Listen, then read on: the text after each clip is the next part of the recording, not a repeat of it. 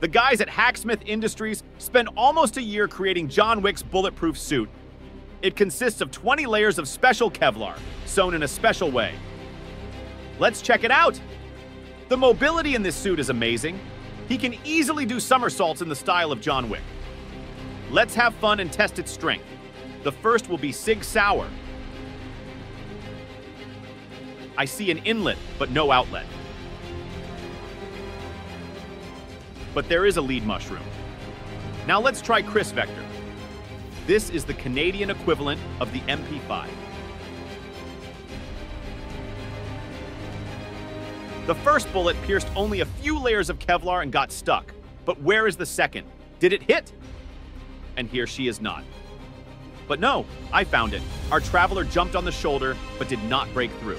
Our suit worked perfectly and passed the test. Would you try it?